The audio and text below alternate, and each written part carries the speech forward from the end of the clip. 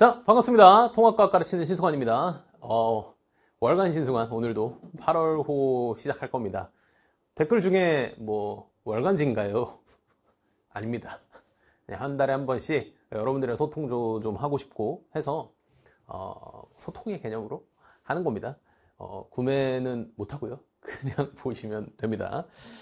어, 7월호 지난주 지난달이죠. 지난달에 올라갔는데 그때 제가 뭐 이런저런 취향 얘기도 좀 하고 요즘 뭐 제가 뭐 스승님이 생겨서 뭐 힙합에 대해서 배우고 있다. 그래서 뭐 댓글 달아달라 라고 했더니 어, 꽤 많은 학생들이 댓글을 달아주셨더라고. 뭐 제 힙합도 있었고 뭐 일렉트로다 도 있었고 아 근데 제 취향을 끌만한 건 사실 없었던 것 같아요. 그래서 올해는 일단 어, 힙합 음악에 집중을 해보도록 하고요. 그 친구도 어, 봤더라고요 캐스트를 보고 이제 저한테 어, 아는 척을 했습니다.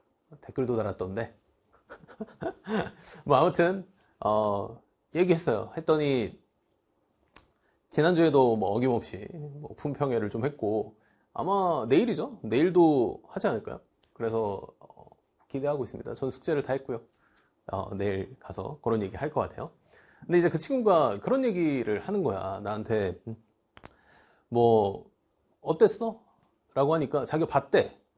봐서 뭐 이런저런 얘기를 하다가 갑자기 그런 얘기를 하는 거야. 선생님 근데 선생님 그 수업하실 때랑 캐스트 촬영할 때 너무 사람이 좀 다른 사람 같다는 거야. 이중적이래. 그래서 내가 그럼 당연히 다르지 마. 어? 걔는 이제 고3이죠. 고3 N수. 고 이제 수업을 듣는 친구인데 어, 제가 이제 물리 수업을 주로 하거든요. 그러니까 물리 수업이 주로가 아니라 물리 수업을 하죠. 물리 수업을 하는데 그 과목 자체가 좀 뭐 비교적 좀 딱딱하고 어렵잖아. 그래서 이 수업할 때는 좀 약간 뭐 진지박겜 모드로 수업을 하는 편이죠. 근데 이제 캐스트를 찍을 때는 뭐 사실은 진지한 얘기를 하는 것도 아니고 어, 그리고 이 캐스트의 주 대상이 고1, 고2 학생들이거든. 그러니까 조금 다를 수밖에 없어요. 그래서 그거를 좀 양해해 줬으면 좋겠고 그것과 관련돼서 어, 오늘 얘기를 좀 해볼까 하는데 뭐냐면 제가 이 지금은 고3 연수 수업만 하고 있습니다. 고1 수업도 인강을 통해서 하고 있고요. 그래서 고1 수업 통합과학이죠. 그 다음에 고3 연수 현강을 하고 있는데 뭐 아마 나중에 되면 이제 고3도 이제 통합과학을 수능으로 보는 시대가 오니까 어, 그런 이 통합과학 수업을 메인으로 하는 사람이 되겠지. 근데 그 전에는 사실은 제가 중학생들 수업도 꽤 오래 했어요. 그 왜 하게 됐냐면 제가 처음 강사 생활 시작은 음, 물리 올림피아드 그리고 뭐 영재고 입시 이런 수업을 했었어요. 조금 타이트한 수업이었죠. 그래서 거기서 이제 시작을 했는데 이 옆 동네에 있는 그 메가스터디라는 학원에서 원장님이 연락이 오셔서 그 우리 학원에서 수업해 볼 생각이 없니? 그래서 어 뭔데요? 하니까 중학교 과학을 할 사람이 필요하다는 거야.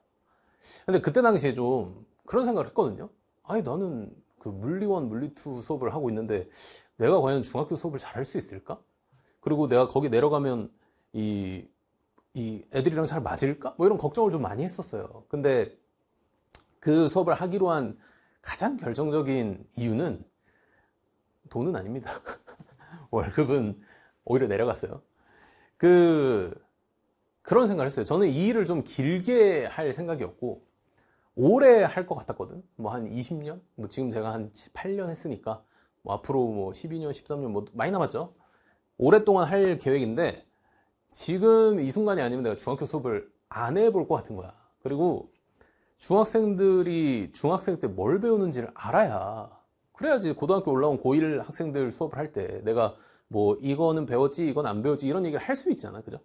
그래서, 어, 지금은 아주 큰 자양분이 됐던 시기라고 생각하는데 그 이유가 되게 컸어요. 그래서 그냥 고민 좀 하다가 그래 뭐 해보자. 그래서 나도 공부할 겸 수업도 할 겸 이렇게 했었어요. 그래서 제가 이제 중1, 2, 3 과학 수업을 메인으로 하다가 그때가 제가 2018년에 이제 시작을 했으니까 2019년, 2020년 이때일 거야, 아마. 통합과학이 이제 본격적으로 고1 시장에 들어왔는데, 통합과학은 저는 오래전부터 준비를 좀 했었거든요. 그래서 통합과학 수업이 되는 사람이 그 당시에 흔치가 않아. 그래서 자연스럽게 그냥 고1 과학도 내가 그 학원에서 하게 됐고, 그러다가 시간이 얼마 지나지 않았는데 갑자기 모 이유로, 모종상의 이유로 그 학원에 고2, 고3 물리 선생님이 계셨는데 그만두신 거야. 그래서 그 수업도 제가 받아서 하게 된 거예요. 그래서 결론적으로 어, 강사 생활 2년차? 3년차 때 저는 이제 중1, 2, 3, 고1, 2, 3 N수생까지 전부 다 수업을 하는 상황이 된 거죠. 그럼 이런 생각을 할 수 있잖아요. 이게 스펙트럼이 너무 넓다 보니까 이게 가능한가? 사실 이 교과적인 내용은 하나도 안 어려웠어요. 그러니까 하나도 안 어려웠다? 뭐 할만했어요. 뭐 중학교 1, 2, 3학년 강의연 과학이야 뭐 어렵진 않고 그 다음 뭐 고1 통합과학이야 내가 오랫동안 준비했으니까 상관없고 그리고 뭐 고2, 고3 물리? 저는 이제 물리학 전공이잖아요. 그래서 뭐 나쁘지 않았어요. 재밌게 이제 수업을 잘 준비했고 어, 했었습니다. 물론 뭔가에 좀 집중을 했으면 조금 더 디테일 있고 조금 더 퀄리티 좋은 수업이 됐을 거라고 지금 돌이켜 생각해보면 그렇지만 뭐 그때 당시에는 나쁘지 않았다. 그리고 그런 건 상관이 없었는데 뭐가 힘들었냐면 학생들의 그 코드라 그래야 되나? 이 개그 코드, 유머 코드, 뭐 공부 코드 이런 그 코드 맞추는 게 너무 어려운 거야. 이게 스펙트럼이 너무 넓다 보니까. 그러니까 예를 들면 이런 거야. 제가 이 중학교 1학년 수업을 들어가잖아요. 그러니까 말이 중학교 1학년이지. 걔네 그 초등학교 6학년 끝난 겨울방학 끝나고 오면 그 초등학생이야. 초등학생 그냥 초딩. 초딩 수업을 하면 걔네들은 진짜로 농담이 아니라 엄청 순수해요. 그래서 뭐 좀 과장 좀 보태면 내가 갑자기 수업을 하다가 뭐 방구 뿡 막 이러잖아. 그러면 깔깔깔 웃어요. 믿기지 않겠지만. 근데 내가 예를 들어서 이 짓거리를 고3 N수 수업 들어가서 했다 쳐봐. 예를 들어 갑자기 물리 수업 막 하다가 방구 뿡! 이러면 진짜로 방구를 한 대 맞을 수도 있어요. 그러니까 그 정도로 이게 갭이 너무 큰 거야. 그래서 그 코드를 맞추는 게 생각보다 좀 어려웠고 그러면서도 동시에 그 코드를 맞추는 게 되게 중요하다는 사실을 알게 됐어요. 그래서 뭐 TMI입니다만 지금 통합과학 수업을 지금 고1 내신용 수업도 당연히 있고 그 고3 N수생들을 위한 이제 통합과학 수업도 개설이 될 텐데 그 똑같은 컨텐츠를 다루지만 이 코드가 달라져야 된다는 사실을 저는 좀 알고 있어요. 그래서 뭐 그런 것들을 고민을 좀 하고 있고요. 뭐 anyway 더 얘기를 해보자면 그런 것도 있어요. 예를 들면 이제 뭐 이 고3 N수 그러니까 대한민국 수험생으로 사는 게 쉬운 일이 절대 아니지. 그래서 힘들거든. 그래서 애들이 좀 찌들어 있어요. 마음적으로도 여유도 좀 없고 좀 힘들고. 그런데 그런 학생들이랑 이제 수업을 하다가 이제 중학교 1학년 수업 가잖아? 그러니까 초딩이야, 초딩. 그냥 내가 한마디 말만 던져주면 지들이 막 제잘, 제잘, 제잘, 제잘 얘기를 해요. 뭐 예를 들면 뭐, 야, 뭐 우리 학교 뭐 반장 누구 됐다더라. 뭐 이런 얘기를 시작하면 끝도 없어. 그럼 나는 그냥 옆에서 들어만 주고 있으면 돼요. 그러니까 그런 모습을 보면서 좀 뭐 나름 힐링도 되고, 어, 그래, 나도 저런 때가 있었지. 뭐 이런 순수함에 감동도 하고 하는데, 그러다가 이제 또 내신 기간이 되고 공부를 좀 빡세게 해야 될 시기가 오잖아? 그러면 이 중학교 1학년, 2학년 이 친구들이 공부를 열심히 하겠어요? 뭐 잘 알지도 못하고 뭐 간절함도 당연히 위학년보다 덜하고 심지어 그때 당시 중1, 뭐 지금도 마찬가지죠. 자유학기제 자유학년자라서 내신 시험 들어가지도 않아. 학생들이 공부에 대한 이 집중도가 현저히 떨어질 수밖에 없어. 그러다가 그날 저녁에 고3 수업 딱 들어가잖아? 학생들 눈빛부터 다르거든. 눈빛도 다르고, 치열하고, 엄청 뭔가를 열심히 도끼도 품고, 이런 모습을 보면 그 모습에 저는 또, 그래, 저렇게 치열하게 사는 사람들이 있지. 뭐 나도 저렇게 살아야지. 뭐 이런 감명을 받기도 하고, 영감을 받기도 하고, 뭐 그랬습니다. 아무튼, 이 중학교, 고등학교, 이 한 살 한 살 한 살 먹어가면서 사람의 코드, 뭐 사람의 이 모든 것들이 엄청나게 많이 바뀌거든. 20살 넘어가면 더 심해요. 20살, 그러니까 19에서 20살 될 때 사람이 제일 많이 바뀌는 것 같고 20에서 21살도 완전히 많이 바뀌어요.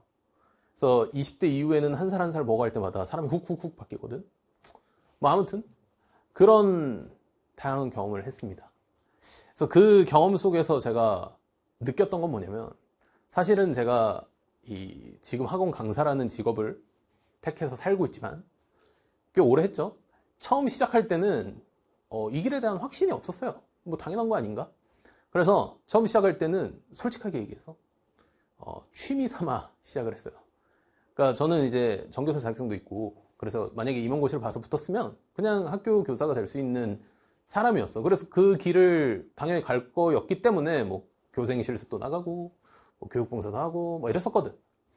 근데 그냥 즉흥적으로 갑자기 대학교 졸업을 딱 하기 직전인데 임용고시를 보지 않고 학원 강사를 해보고 싶은 생각이 드는 거야. 그래서 이제 엄마 아빠한테 딱 얘기를 했죠. 뭐, 나 경제적으로 독립할 테니까 1년 동안 내 마음대로 좀 살게 해달라. 그래서 뭐, 저희 부모님은 제가 하고 싶은 거 뭐 터치 안 하거든요. 그래서 뭐, 네 알아서 해라. 그래서 이제 1년 동안 했죠. 1년 하니까 재밌는 거야.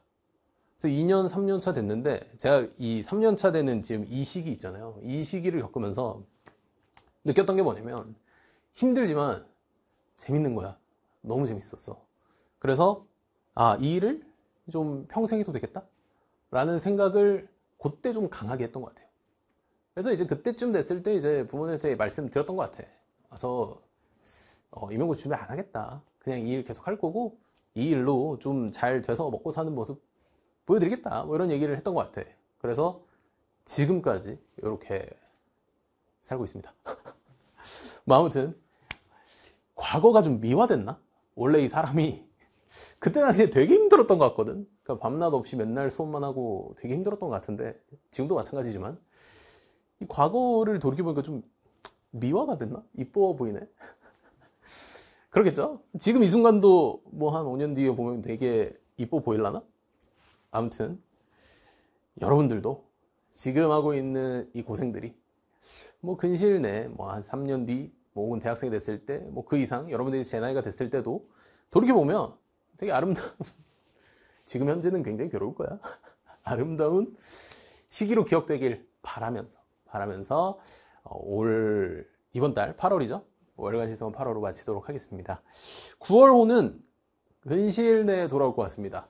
9월 초중순에 촬영이 잡혀있기 때문에, 어, 금방 올라올 거고요. 되겠죠? 어, 여기까지 하도록 하고, 우리 다음 회차 때 보도록 하겠습니다. 감사합니다.